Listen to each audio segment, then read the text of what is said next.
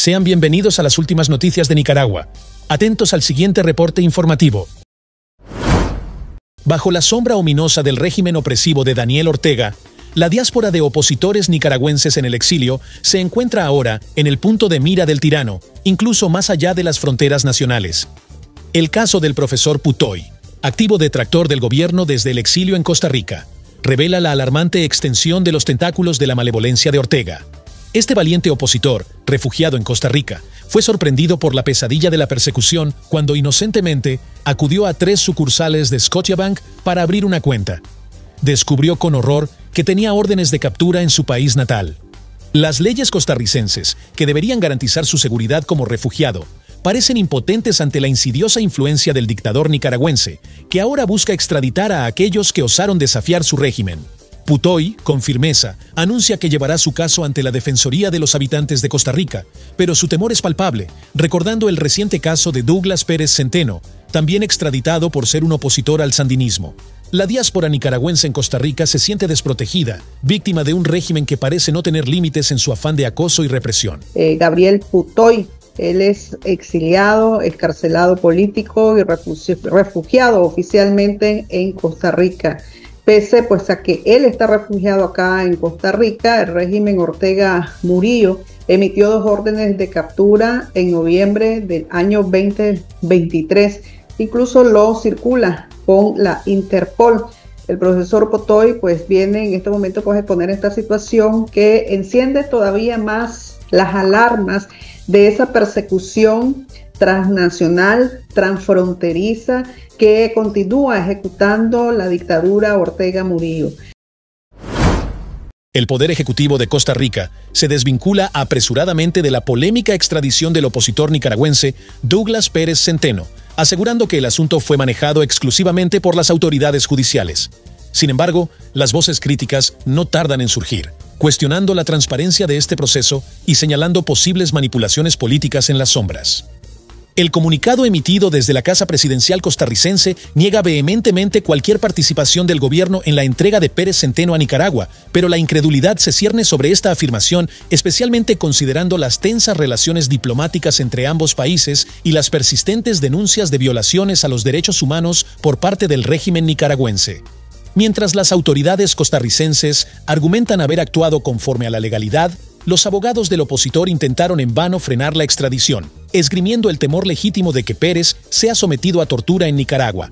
Este oscuro episodio agrega una nueva capa de controversia al panorama político centroamericano, con Costa Rica en el ojo del huracán y las sombras de la intriga política en aumento. El gobierno de Costa Rica negó haber tenido alguna participación en la extradición a Nicaragua de Douglas Pérez Centeno, opositor al régimen nicaragüense y exmiembro de la contrarrevolución en la década de los 80. Un comunicado del Poder Ejecutivo costarricense asegura que la extradición es un proceso 100% judicial, en el que solo tiene participación y ejecución las autoridades de ese poder de la República. Centeno Pérez fue entregado a las autoridades en Nicaragua la tarde del viernes 16 de febrero en el puesto fronterizo de Peñas Blancas. El régimen sandinista acusa al opositor por su presunta participación en el asesinato de una policía y un civil, junto con Reinaldo Picado Miranda, alias Comandante Omar, también exmiembro de la Contra, quien aún permanece encarcelado en Costa Rica sujeto a un proceso de extradición.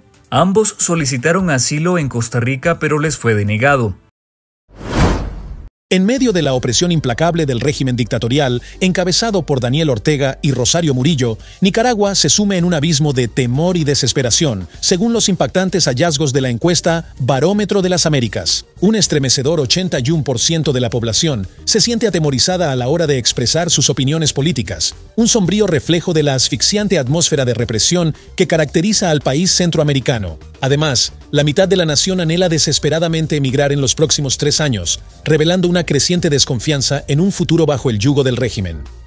La encuesta también pone al descubierto una sociedad al borde de la hambruna, con el 42% de los encuestados admitiendo que, en los últimos tres meses, enfrentaron dificultades para garantizar el alimento en sus hogares. Este desolador panorama se completa con el colapso de la confianza en las instituciones públicas, lo que subraya la urgente necesidad de un cambio que libere al pueblo nicaragüense de las garras de la tiranía. La mayoría de los nicaragüenses tienen una visión pesimista sobre el futuro del país, sin oportunidades económicas ni libertades, que motiva a la mitad de los ciudadanos a emigrar hacia otros países, principalmente hacia Estados Unidos revela la más reciente encuesta del Barómetro de las Américas. Esta encuesta bianual fue realizada entre junio y julio de 2023 en 26 países del continente, siendo Nicaragua y Haití los únicos países latinoamericanos cuyas consultas fueron realizadas por vía telefónica, a diferencia del resto de países que fue de forma presencial. El estudio consultó una muestra representativa de 1.500 nicaragüenses, el 50% de los nicaragüenses tienen intención de emigrar y el 23% de ellos están preparados para hacerlo. El 61% de quienes tienen intención de emigrar aseguran que lo harían por falta de oportunidades económicas. En un llamado revelador desde el corazón de la diáspora nicaragüense, el párroco Somarriba al servicio de la iglesia Santa Ágata en Miami arroja luz sobre los modernos Herodes que acechan en las sombras de la manipulación discursiva, con valentía, advierte a los pueblos sobre la astucia de los caifaces y Herodes contemporáneos, quienes, según él, se disfrazan con frases melosas que solo ocultan su propia amargura interna. El religioso denuncia la hipocresía de aquellos que llenan sus bocas con un lenguaje cristiano, espiritual y divino, mientras sus corazones permanecen vacíos y sedientos de sangre inocente. En sus impactantes palabras, Somarriba destapa la verdad detrás de la fachada de seguridad y amabilidad, revelando que estos modernos Herodes matan sin pistola, cubriendo sus huellas con la apariencia de calidez e incluso desinterés.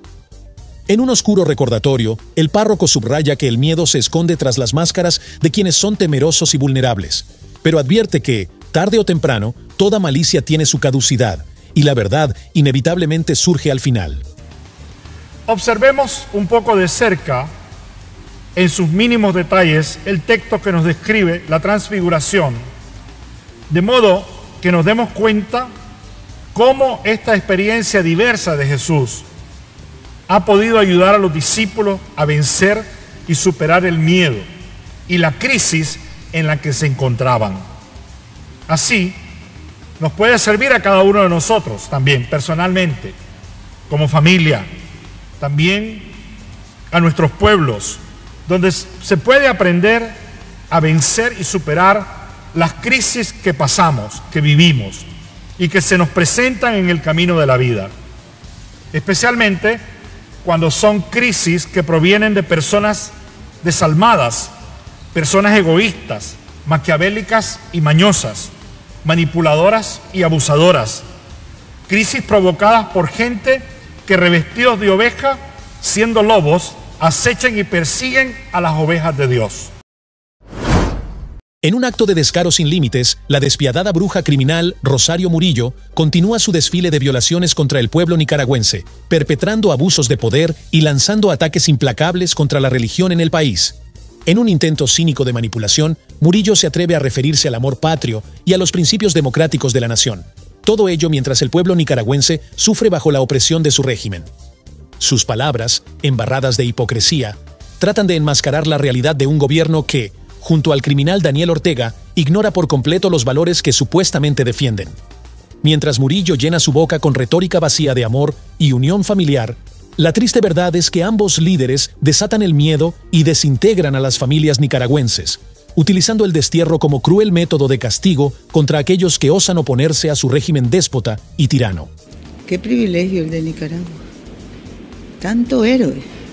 Todos los días, todos los días y no uno, decenas de compañeros que han ofrendado su vida por la patria, con amor patrio, porque es insignificante realmente el número de apátridas, de esos que no aman a su patria, no tienen corazón patriótico y al contrario, sufren porque de verdad es una enfermedad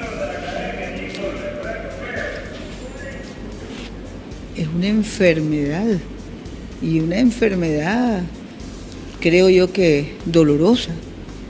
No llenarse de amor por el suelo, por la tierra, sagrado, que nos vio nacer, que nos ve crecer y que nos da la vida. Suscríbete a Nicaragua Hoy TV para que no te pierdas las últimas noticias más importantes. Déjanos tu opinión en la caja de comentarios y activa la campana de notificaciones. Nos vemos en el próximo reporte.